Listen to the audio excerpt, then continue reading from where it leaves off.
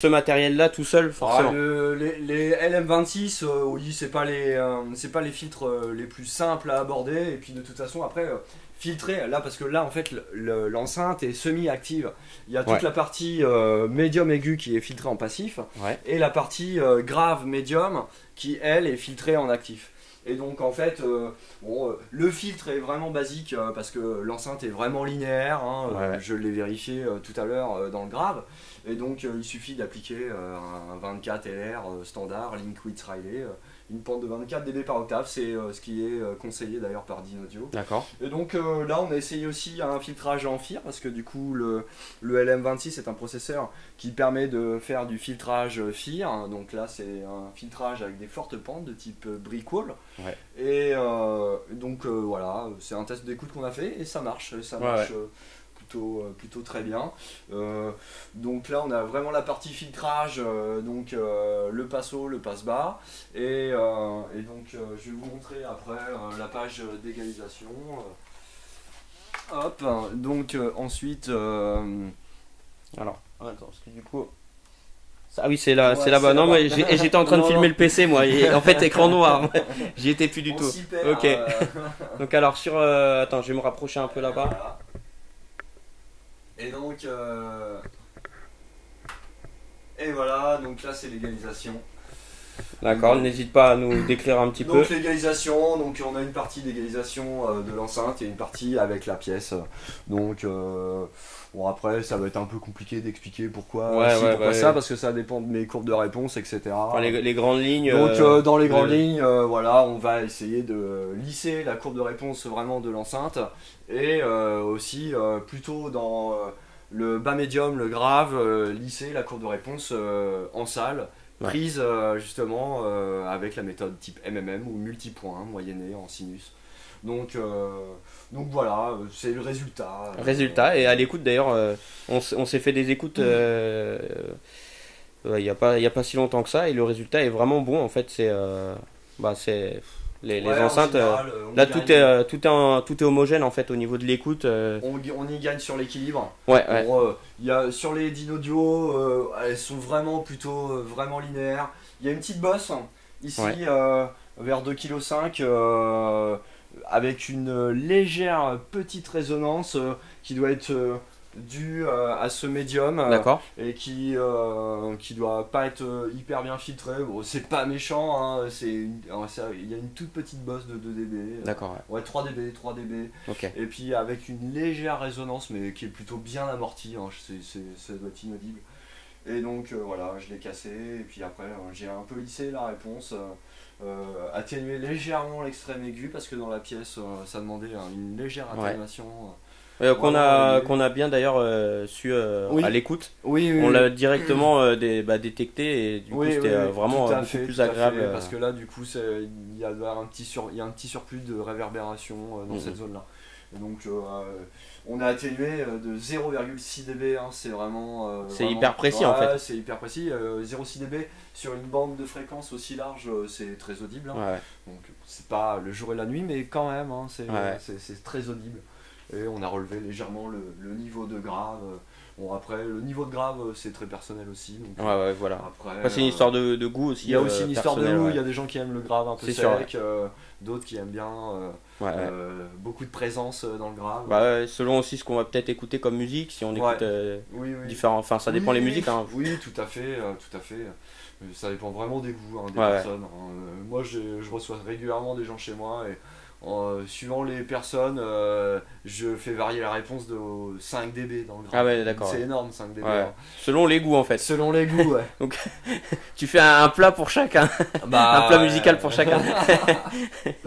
Euh, après, euh, moi j'essaie de régler, de trouver un compromis, hein, mais euh, effectivement, après ça dépend vraiment des habitudes d'écoute. hein. Ouais. Donc voilà. Donc est-ce que tu alors est-ce que tu conseillerais donc aux gens parce que là en fait on est quand même sur des enceintes qui sont c'est quand même c'est du haut de gamme. C'est du haut de gamme, C'est du haut de c'est gamme. du haut de gamme et c'est des enceintes qui marchent vraiment très bien. Euh, ouais, et franchement, euh, c'est vraiment des, des excellentes enceintes. euh, très précises, avec un très bon niveau de grave, avec de l'impact. Mm. Voilà, Ouais, des enceintes neutres, des enceintes de monitoring de studio haut de gamme. Donc, euh, Est-ce que tu le conseillerais aussi pour des personnes qui, qui ont du matériel hi-fi, euh, Ah, si je puis dire basique, même s'ils ont des, par contre s'ils ont des, des enceintes euh, hi-fi, euh, des, des colonnes par exemple, ouais. ils ont des colonnes et que euh, est-ce qu'ils pourraient passer par ce système-là de, bah comme toi tu Ah fais oui, pour, de euh, correction, oui, voilà, oui, de correction pour, euh, régulièrement. euh, J'en fais régulièrement, donc euh, oui, oui, tout à fait. euh, d'accord, ouais. Euh, je, je- je calibre euh, régulièrement des installations hi-fi ou home cinéma.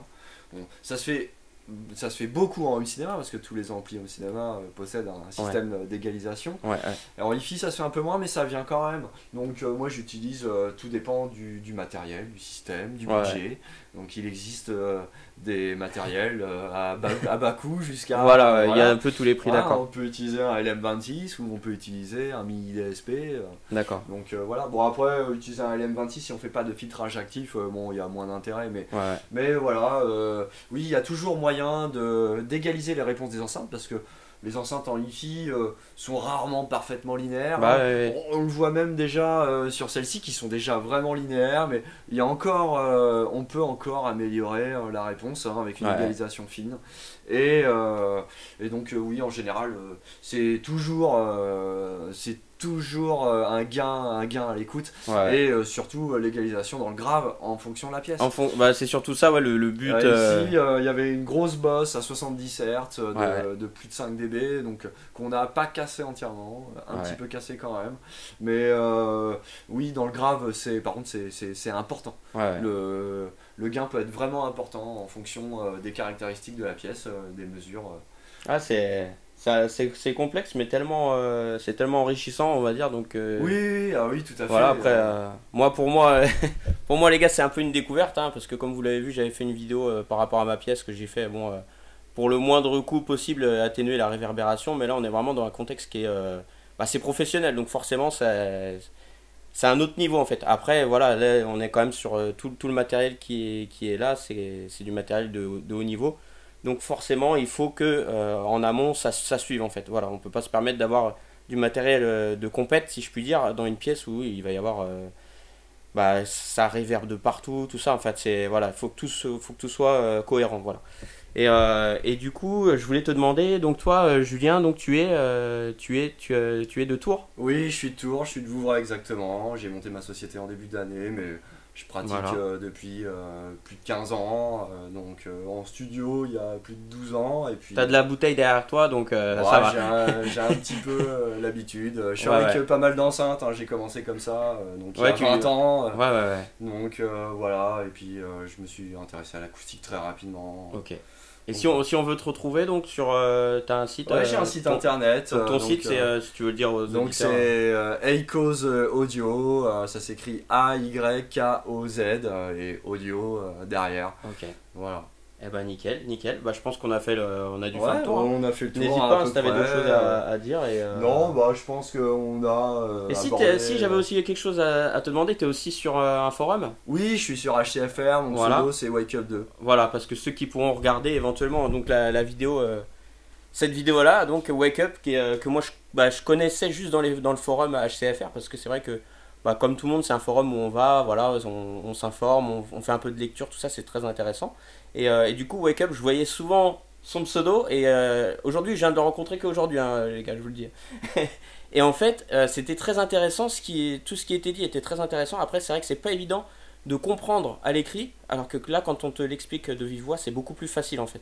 Enfin, moi, c'était surtout Ouais. ça la. Même si c'est pas toujours simple d'expliquer. C'est pas simple, ouais, ouais. Parce que voilà, il faut pas. Mais déjà de mettre un petit pied, un, un pied dans le plat en se disant, bah voilà, s'intéresser un peu à l'acoustique, Oui, c'est bah, euh, c'est quelque chose de. l'acoustique d'une salle voilà. est euh, prépondérante euh, dans le résultat final. Et ouais, l'enceinte on le dit aussi. jamais assez, hein, de toute façon. Ah, non, non, on le dit jamais assez, mais bon, après on fait, chacun fait avec Voilà, ouais. qu'il a et les possibilités ouais. qu'il a. D'ailleurs, j'allais dire, moi j'ai des grosses enceintes, c'est vrai que je peux pas les exploiter dans ma pièce.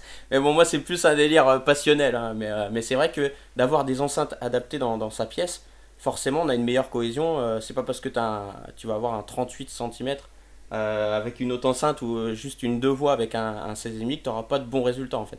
C'est, Non. en fait, c'est tout est tout est question de, de pièces et de, de cohérence. Voilà. Ouais, c'est ça, il faut que ce soit cohérent et, Et, euh, adapté. bon bah écoute, euh, je pense qu'on a, on a on a fait tout le tour. Euh, écoute, on va se, on va se quitter sur une, une petite vibe euh, à la cool. Allez, Donc hop. euh, bah, les amis, j'espère que la vidéo vous a plu. Bon après euh, c'était un contexte un peu euh, spécial. Vous- si vous avez réussi à tenir les 30 minutes, c'est bien. Je vous, je vous dis merci. et puis euh, et puis t'as une chaîne YouTube ou pas tout à l'heure? Non, pas encore. Non, pas encore. Eh Pas ben, encore, écoutez, quand euh, elle y sera, on fera un petit, euh, un petit lien. euh. ouais, avec sa chaîne YouTube. Voilà, voilà. Bon, bah écoutez, passez un bon week-end et puis euh, bah à très bientôt. Ciao. Salut.